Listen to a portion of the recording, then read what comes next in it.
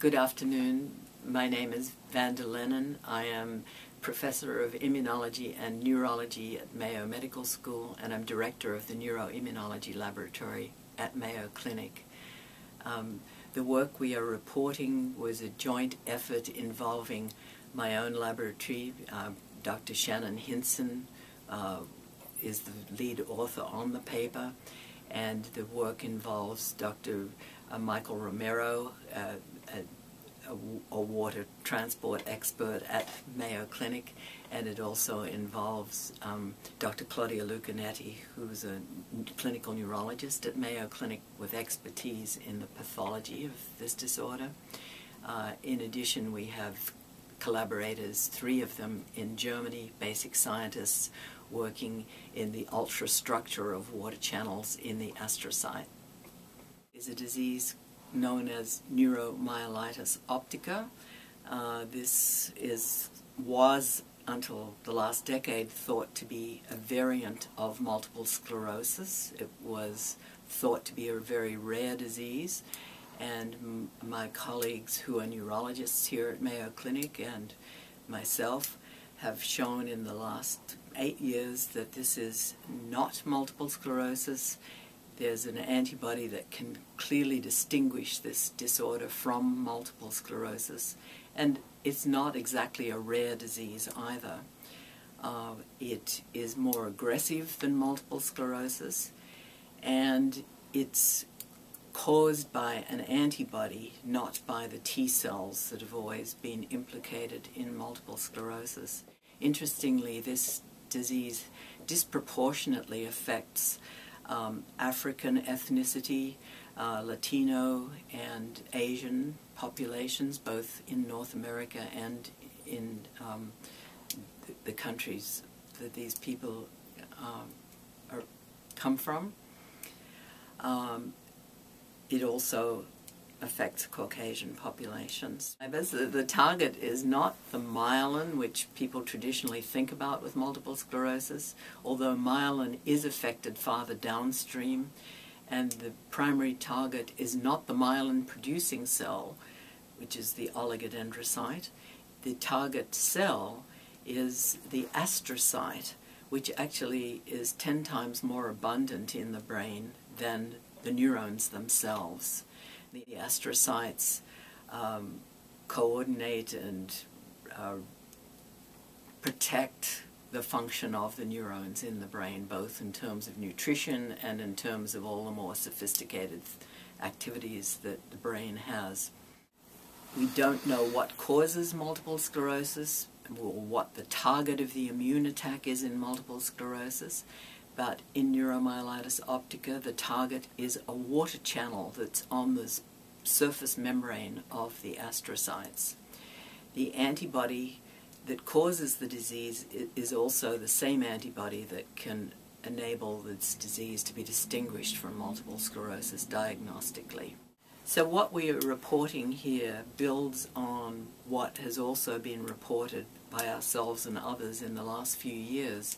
The, the first things that we discovered about the antibody is that when it binds to this water channel in a model cell culture system, it causes the internalization of the water channel off the surface of the astrocyte so that, or the model cells, so that that would interfere with water transport.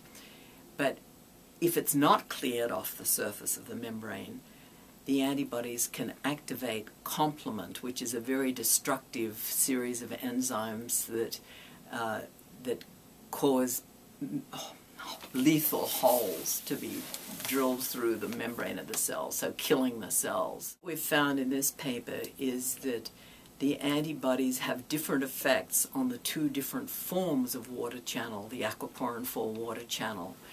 And the outcome uh, which clinically is known to differ in different regions of the brain and the spinal cord and the optic nerve.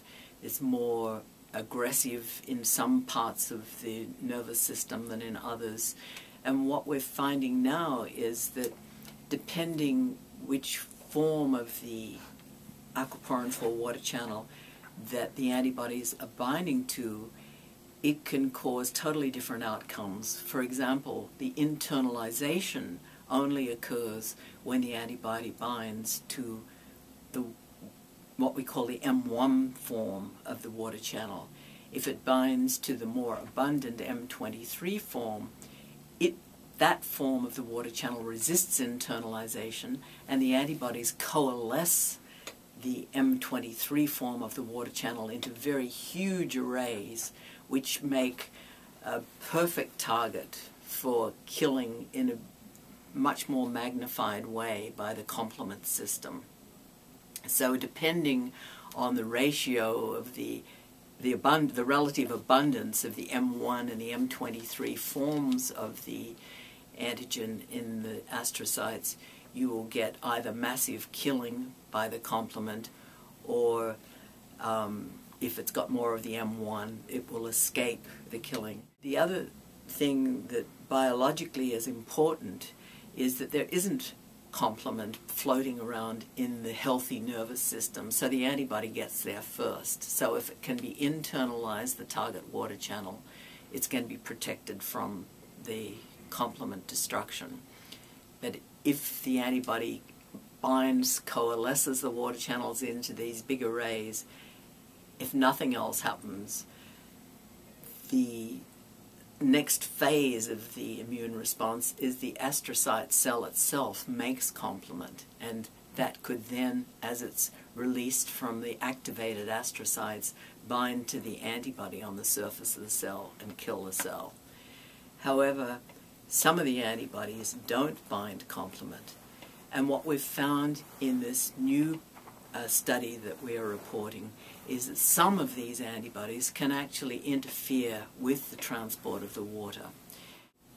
The additional important finding that Dr. Lucchinetti is reporting in this paper is that in some areas of the brain of uh, autopsied tissues from these patients, there is a peculiar accumulation of water in the myelin itself, and we think this is one of the things that leads to the secondary destruction of the myelin that does occur in this disease, leading later to the misdiagnosis of multiple sclerosis. Research is very translational, sitting between the molecular studies, the basic science of the water channels, and the clinical findings in the brains of the patients and the imaging findings uh, of the living patients so that it, it illustrates the importance of the funding of basic science hand in hand with the clinical sciences. And we were very fortunate that for the last four years our laboratory has been supported by the Guthy Jackson Foundation, which is based in Los Angeles, and they have had the wisdom to fund very basic aspects of the disease that I've talked about today so that it can be applied to more rational therapies and novel therapies for the patients. For example, one therapy that is being considered at the moment is to use an antibody to fight the destructive antibodies. These antibodies would recognize the water channel and get there first and stop the complement activating antibodies getting to do the damage to the cells. But now that we've found that some of the antibodies can actually block the function of the channel, then it makes the treatment options more complex. And um, it's always important to be understanding the basic mechanisms of the disease in addition to hoping for curative treatments, which is what we all want to see um, as an outcome of every phase of the basic science therapy, basic science studies.